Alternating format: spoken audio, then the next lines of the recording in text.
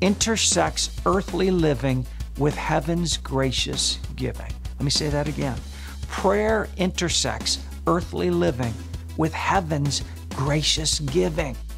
Now, religious thinking tends to resist this because they prefer the emphasis to be on earning God's approval, to in some way merit getting your prayers answered. Oh, I deserve to get my prayers answered. God's grace is key to praying in faith.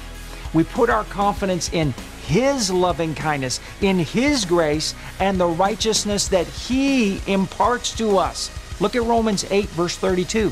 He who did not withhold or spare even his own son, but gave him up, talking about Jesus for us all, will he not also with him freely and graciously give us all other things? Did you get that? Freely and graciously, not earned or deserved, but freely and graciously.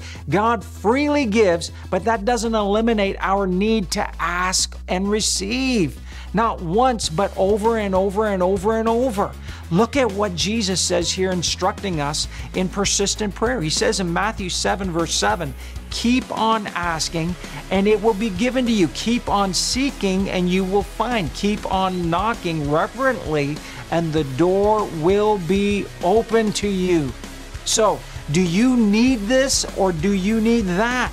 Do you need this or do you need that? Do you need X or do you need Y? There was a poster I saw one time and it said, Dear Lord, please don't let my husband be home when all my online orders arrive. Amen.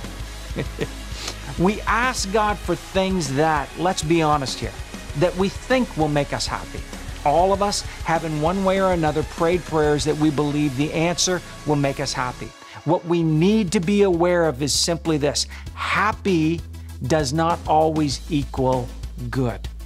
You may eat six or seven of your favorite donuts, but that doesn't mean it's good, good for you. You may feel happy indulging in a shopping spree with your credit card, but that doesn't mean it's good, especially when your bill arrives 20 days later.